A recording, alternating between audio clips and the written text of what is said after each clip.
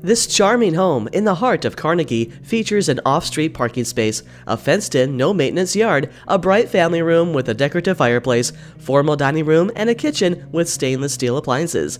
There are two main-level bedrooms, plus a bonus room and third bedroom on the upper level.